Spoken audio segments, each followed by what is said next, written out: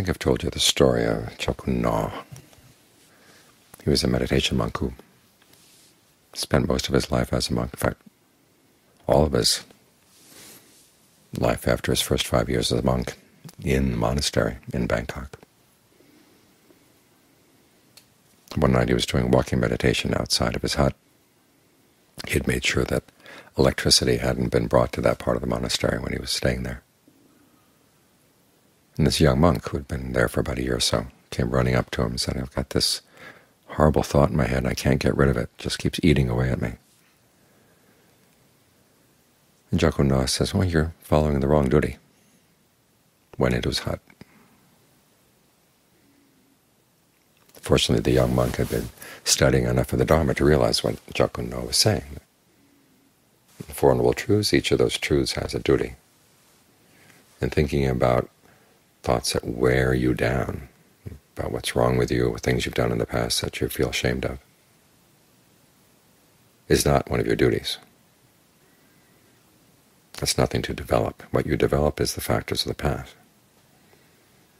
And one of the factors that's important there is motivation in right effort, because you do have other duties you've got to do, and if you waste your energy by pulling yourself down,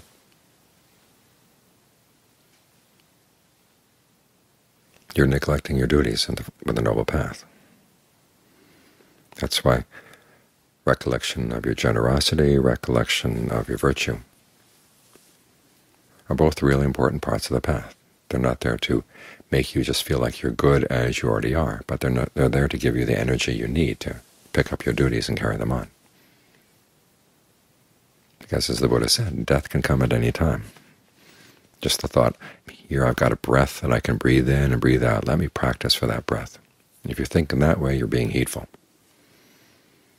If you're sitting there thinking, I just want to wallow in my misery for a while, that's heedlessness.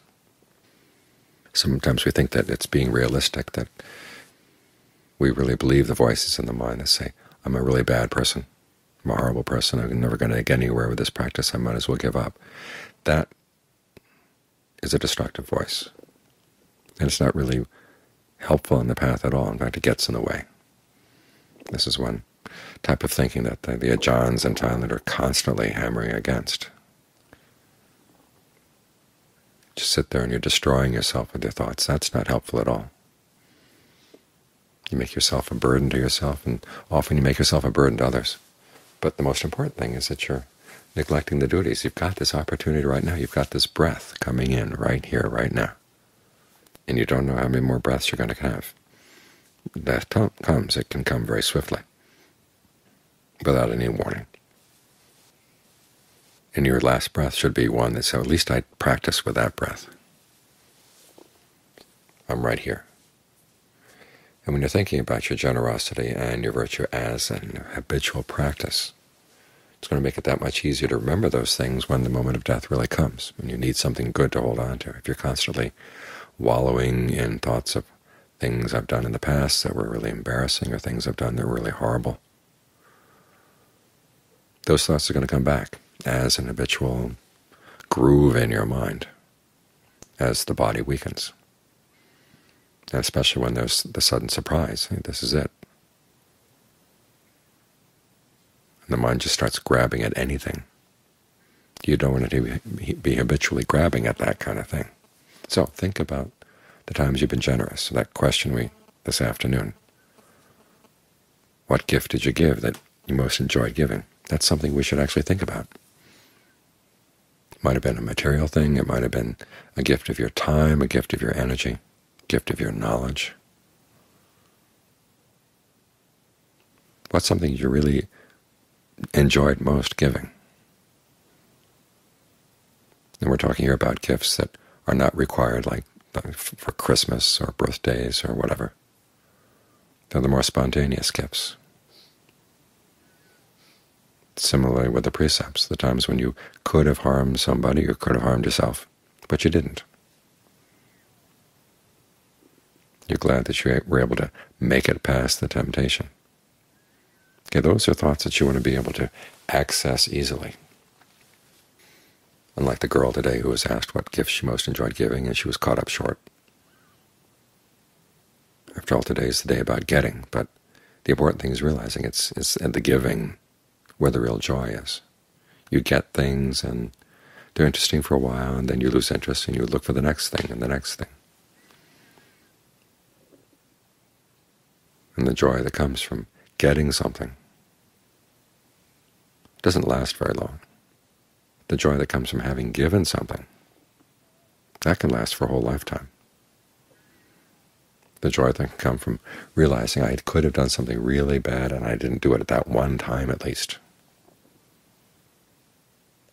That's a joy that has a lot of staying value.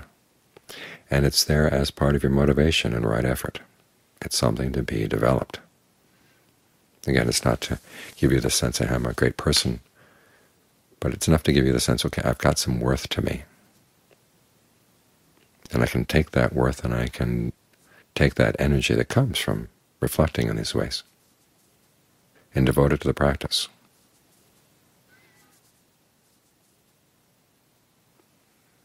This is an aspect of being heedful. You have to learn how to connect those two ideas in our mind. All too often our idea, our idea of being heedful is, um, is learning to be critical of ourselves. Say, this isn't good, that isn't good. There are things you do have to let go of, but the letting go requires a certain amount of energy. We don't let go out of weakness, we let go out of strength. And the strength has to come from a sense of our worth. So learn how to cultivate that sense of your worth. It's a duty. It's a friendly duty. And this practice is not an easy one. No one can ever promise that it's going to be easy. There are, as the Buddha said, there are some people for whom it's quick and pleasant, but those those have already gone. We're the ones remaining. It's going to be hard and it's going to take time.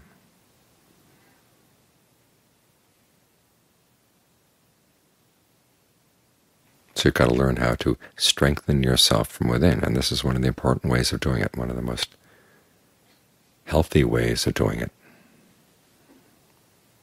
And if you look back and there are no gifts that you really are happy that you gave, well, start thinking up some gifts that you would be happy to give. Again, if you don't have the money, think about the gifts of your time, gifts of your energy. We're here in the monastery. It is an economy of gifts. Everybody here is giving one thing or another. Nobody's getting paid. But you might want to think about extra special ways that you might want to give something that you'd feel really satisfied with having given it because the effect of that ripples through. When the Buddha started his gradual discourse, he always started with generosity to get people ready to see the Four Noble Truths. He wanted them to reflect on the times that they had been generous. They went on to the precepts of virtue. They wanted to reflect on the times they've been virtuous. And think about the rewards of these things. They lead a rebirth in heaven. Okay, once he'd strengthened you in that way, given you a sense of your own well-being, okay, that's when he'd say that there are limitations here.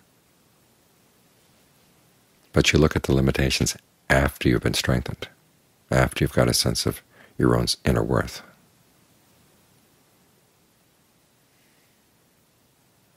And when you think of the limitations, that's when you're ready for renunciation. When you're ready for renunciation, that's when you're ready for the Four Noble Truths. So we're building up to our appreciation for the Noble Truths by getting the mind prepared through our generosity, through our virtue.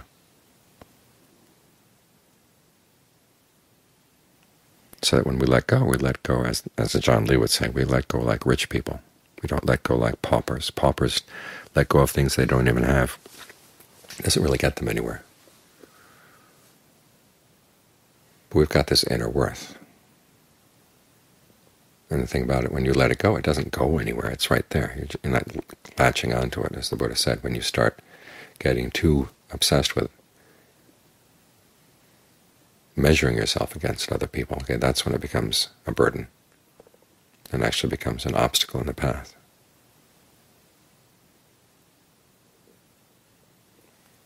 but learn how to reflect in a way that gives energy to your practice, that heightens your heedfulness. You realize you need strength. to face this difficult path. And part of the strength comes from remembering the good things you've done, taking joy in that.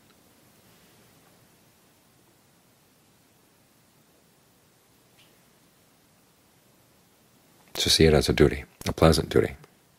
Don't feel embarrassed about it. Some people feel embarrassed about extending goodwill to themselves or thinking about their past generosity because they feel, well, not real. It's real. I mean, we admit that there are things that we've done in the past that are not so good. But for the sake of putting it into suffering, you don't want to dwell on them.